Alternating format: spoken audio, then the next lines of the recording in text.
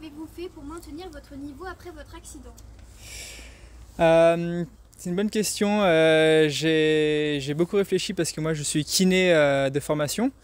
Donc il faut déjà respecter un, long mois d'immobilisation, six semaines précisément, donc le- où le poignet est immobilisé. Et ensuite il faut mettre en place une stratégie avec un, objectif au bout pour pouvoir revenir en- le plus vite possible euh, à son meilleur niveau. Donc moi ça m'a pris en tout euh, trois mois et demi à peu près. Comment vous êtes-vous remis de votre accident? Euh, ben donc comme je disais, c'est il faut se mettre un objectif euh, pour revenir à, à son meilleur niveau. Donc ça m'a mis ça m'a pris à peu près trois mois. Et donc là, il faut s'entourer des bonnes personnes pour, pour à la fois garder la motivation, pour euh, garder la motivation au quotidien quand euh, on n'a pas, son meilleur niveau, mais qu'il faut aller s'entraîner, il faut aller, euh, s'entraîner avec, bah, pour moi, euh, 50% en moins, donc des, fois une main en moins. Euh, même si j'avais la main immobilisée, il fallait que j'aille euh, bah, courir, euh, faire de la musculation, entraîner le reste du corps. Et ensuite, quand on retrouve sa main, quand on, enlève l'immobilisation, il faut donc retourner sur le canoë. Et là, son niveau, on l'a plus du tout. On n'avance pas, du tout aussi vite. Les, gestes techniques sont détériorés. Et, euh, et donc là, on se pose beaucoup de questions. On a parfois envie d'arrêter. Euh, mais donc, si on est entouré des bonnes personnes, euh, c'est là où on garde la motivation. En tout cas, moi, c'est ce que j'ai fait. Et moi, mon, objectif que j'avais en tête, c'était les, courses de, début de saison en septembre, euh, notamment à Londres, sur le bassin des, des prochains championnats du monde. Et comme c'est un bassin que, que j'adore, je voulais absolument être le meilleur possible euh, sur cette compétition-là. Et euh, donc pour moi, la clé, c'est de garder la motivation au quotidien. Comment, avez-vous profité de votre repos forcé après votre blessure? Euh, et ben là, on en profite pour avancer sur euh, plein de choses qu'on n'a pas la- le, le temps de faire, c'est-à-dire euh, sur le matériel.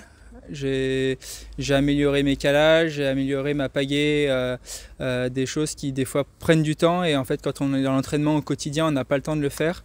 Euh, j'ai avancé sur le côté prépa mental où en fait du coup bah, comme on n'a plus de prépa physique, on permet de, on s'entraîne mais différemment. On s'entraîne dans la tête. Donc là, on regarde beaucoup beaucoup de vidéos. On regarde euh, des vidéos de nous euh, sur des compétitions euh, passées et aussi des vidéos de, concurrents, des choses qu'on a envie de faire dans le, futur. Et, en fait, en regardant, en se les imaginant, on se les approprie. Et ça permet de construire tout, un, tas d'objectifs techniques que- qu'on aura envie de, mettre en place dès dès qu'on pourra s'entraîner à 100%. Voilà. Émotions ressentez-vous lorsque vous êtes dans un kayak Euh, bah, du plaisir. Moi, c'est, je fais du canoë parce que j'aime ça. Euh, j'aime être euh, dans mon canoë à genoux sur de l'eau. Euh, c'est là où je me sens le plus libre et, et où je peux m'exprimer. je peux exprimer de la créativité, inventer des choses, créer des choses et c'est, c'est ça que j'adore faire tous les jours. Vous sentez-vous capable de faire une descente parfaite? Euh, c'est un gros problème parce que euh, moi j'aimerais faire la descente parfaite, mais la descente parfaite n'existe pas. Euh, même même le jour des Jeux, même les champions olympiques, c'est jamais la descente parfaite. On peut toujours aller plus vite, toujours améliorer des choses. Et en fait, il faut juste savoir que cette descente-là, elle n'existe pas, même si on veut s'en rapprocher. Et euh, certains n'ont jamais à l'idée de faire la descente parfaite. Ils veulent juste aller le plus vite possible euh, avec leur technique qui des fois n'est pas très bonne et c'est comme ça qu'ils gagnent. Euh, moi au contraire, des fois je suis peut-être trop dans la perfection et j'ai envie de faire cette descente parfaite. Donc c'est ce qui me motive aussi au quotidien, mais je sais que c'est quasiment inaccessible une descente parfaite. Est-ce que vous avez d'autres passions que le kayak? Ouais, j'en ai beaucoup trop. J'en ai beaucoup trop parce que j'aime en fait tous les sports euh, où on est dans la nature. Euh, les sports de pleine nature, donc euh, le vélo, le ski, le, le kitesurf, le surf. et en fait, j'ai tout le temps envie d'aller faire d'autres choses parce que j'aime cette liberté justement d'évoluer dans la nature. donc il faut que je, me restreigne et que bah, quand on fait du haut niveau, c'est du haut niveau pour la discipline qu'on fait au quotidien. Donc moi c'est le canoë slalom. Donc par exemple euh, cette année là j'ai décidé d'arrêter de, faire euh, du kitesurf euh, alors que j'en fais très régulièrement pour pouvoir bah, pour éviter de me blesser déjà d'une parce que bah, j'ai eu une blessure, c'était trop.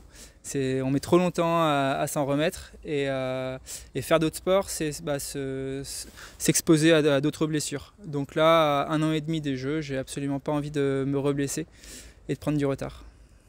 Quel est votre rythme d'entraînement Euh, le rythme d'entraînement, il varie en fait, il varie en fonction des, saisons. Euh, là en ce moment, je suis dans une euh, période où je m'entraîne beaucoup, donc je m'entraîne euh, trois fois par jour, 5-6 heures par jour. Et des périodes où on s'entraîne un petit peu moins, comme euh, période de, de Noël où on, est plus euh, à faire, euh, à voir la famille, à se, se reposer. Là, ça va être juste une fois par jour. Voilà, mais en tout cas, c'est quotidiennement. Suite à votre accident, êtes-vous concentré à 100% pour les JO 2024 Comme j'ai dit, bah, c'est mon gros objectif, surtout euh, quand on a été une fois euh, au jeu. euh, son, ambition, euh, c'est de refaire une Olympiade, toujours en sachant que c'est extrêmement dur de se sélectionner. Il n'y a qu'une seule place dans notre sport. Il y a plein de sports où ils ont 5-6 places. Nous, c'est pas du tout le cas. Il n'y a qu'une seule place. Donc, il faut vraiment se concentrer euh, sur cette sélection avant de penser même à la médaille euh, ou, ou autre ou au résultat des Jeux Olympiques. Ce qu'on veut déjà, c'est se sélectionner. C'est déjà bien assez dur. Et, euh, et ça, j'y pense dès, dès que j'ai terminé Tokyo. j'ai pensé tout de suite à Paris. Portez- Porterez-vous la flamme olympique lors de votre passage en Charente? Je ne sais pas si, j'ai- si les athlètes peuvent la porter. euh, en tout cas, j'espère être là le jour. Passe en Charente, j'espère être là le- ce jour-là. Aimez-vous revenir à Jarnac? Euh, bah, la preuve, hein. la preuve, euh, j'aime euh, j'aime revenir parce que bah, il y a ma famille qui est là. Euh, j'aime retourner sur ce bassin euh, euh, d'eau plate, euh, même si c'est de l'eau plate, c'est là où j'ai commencé. Et, euh, et en fait, on se rend compte que c'est un bel endroit pour faire du canoë euh, ou du sport. Euh, malgré le fait que j'ai été dans le monde entier euh, faire du sport et du canoë, et ben on se rend compte qu'ici on a la chance quand même d'avoir euh, bah, ce, ce petit bout de nature et ce petit bout de Charente euh, qui est bien sympa. Êtes-vous confiante pour les JO 2024 Euh, motivé, oui. Ambitieux, oui. Confiant, je suis jamais confiant. Donc c'est ce qui me fait avancer, c'est ce qui fait qu'au quotidien je reste motivé parce que c'est jamais acquis. Le sport, on sait jamais ce que, le résultat qu'on va faire. Donc euh, il faut euh, bah, avoir de la confiance, ça c'est sûr. Mais confiant que j'y serai, euh, je l'espère en tout cas. Avez-vous d'autres compétitions avant les JO de Paris 2024 J'ai ouais, j'ai beaucoup de compétitions de prévues. Ça commencera là début février, une compétition à la Réunion. Ensuite, il y aura des compétitions nationales euh, jusqu'au mois d'avril. Au mois d'avril, ce sera les sélections nationales pour la pour l'équipe de France de la saison 2023, euh, pour les championnats du monde 2023 qui seront donc à Londres. Et ce sera à Londres et à la Coupe du Monde euh, de Vers-sur-Marne à, Paris qu'auront lieu les sélections olympiques. Donc voilà. Et après ensuite il y a toute la saison internationale euh, 2023, donc environ euh, une dizaine de compétitions internationales.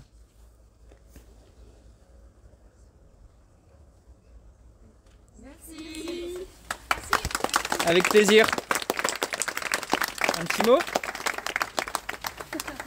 Non? Bravo? On va sur l'eau? Allez, c'est parti. Allez, c'est parti, on va sur-